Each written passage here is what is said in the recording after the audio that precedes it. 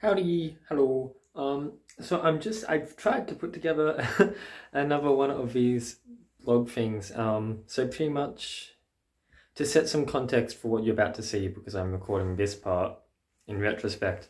But um, I'm currently on holiday from work because of Golden Week, and so I spent one of my days going around the town where I'm living and going to a neighboring town where they have a nice garden. Um, it was all pretty spontaneous. I didn't really have much of a plan, but it worked out pretty well.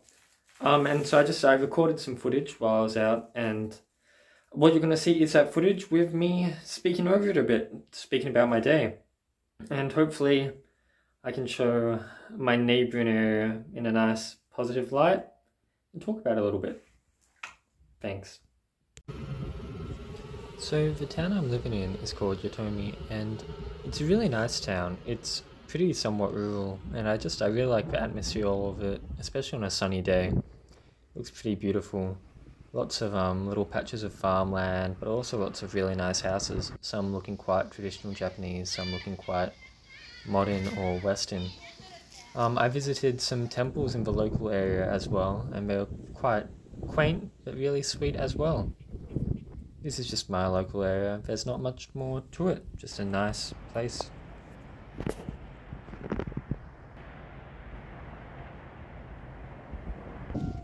The main thing I wanted to do that day was visit a neighboring town called Nagashima. And so I took a train over to it. It's just one stop away. And I absolutely love the train ride. And I see this train ride every single time I go to work because it's on the way. But you just get this gorgeous view of the train crossing the river which bleeds out into the ocean.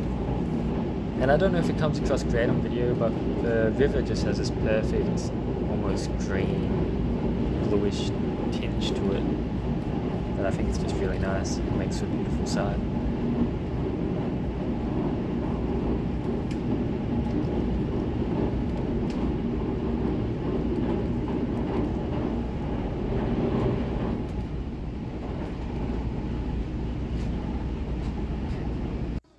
Nagashima itself is also a nice little town. I walked around for a bit, got some lunch, and saw what the town was like, and I eventually arrived across these really pretty pink little flowers, and I realized I had arrived upon something called Nabana Sato, I believe, um, a little garden park you could pay to go into, and so I decided to because I thought that'd be a nice way to spend my day. And they it was just filled to the brim with so many beautiful flowers. It was, it was, a really beautiful place. There was one particular route you could go on that cost a little bit extra. That was just filled and filled with so many colors, so many hanging flowers. It was like extremely beautiful. And the park itself in general was also just very beautiful. Lots of beautiful buildings, lots of beautiful flowers thrown about, nice little cafes you could go to. It's a really nice place.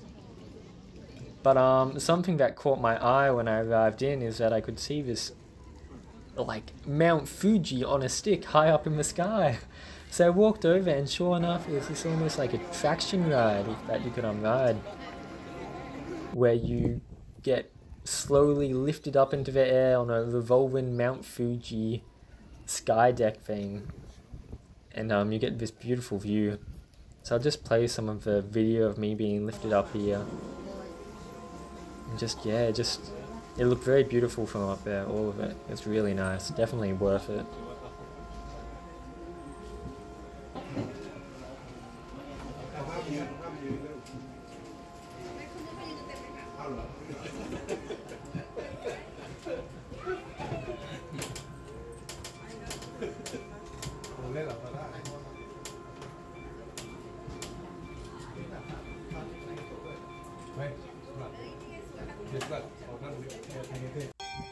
Eventually the night came around and the big thing about this park is that in the evening they do an illumination. So I stuck around till it got dark so that I could watch. And um, I sat by the river that goes down the middle of the park. And I guess I'll, I'll let you see it here. I'll just let it play. Um, the music and the lights themselves are much better in person than they come across on this video. But it it was really beautiful. I'll let it play for a bit.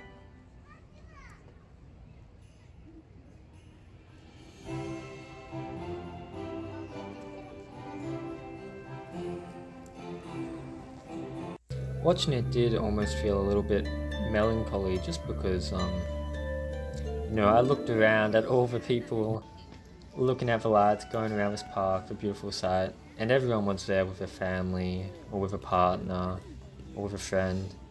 And just because I'm quite new to this town, I had I'd just come here by myself. So it did feel a little bit melancholy, but it was still beautiful nonetheless. And I guess that's pretty much the end of what the day was for me. I'm hoping that um I can make some friends in the future, some people around here that I can go out with. So I don't need to go to these beautiful parks alone, I can go there with someone.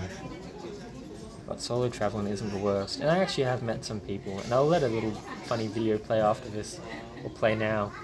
Um, I went to a bar and the bar owner there is very kind and he talked to me a lot. He's the kindest person I've met here. And he ended up driving me home in his little tuk-tuk, which is not what I expected to see in Japan, but nonetheless it was very fun. So that's been very sweet, and I'm hoping I can make lots more friends like him. But yeah, I hope you enjoyed watching this little vlog of my day around the town and me going up in a giant flying Mount Fuji. That was a highlight for me. Um, and this is just how I spent a day of my Golden Week. I don't think every day will be as eventful as this, otherwise I'll be out of money in no time. But yeah, thank you for watching, and bye-bye.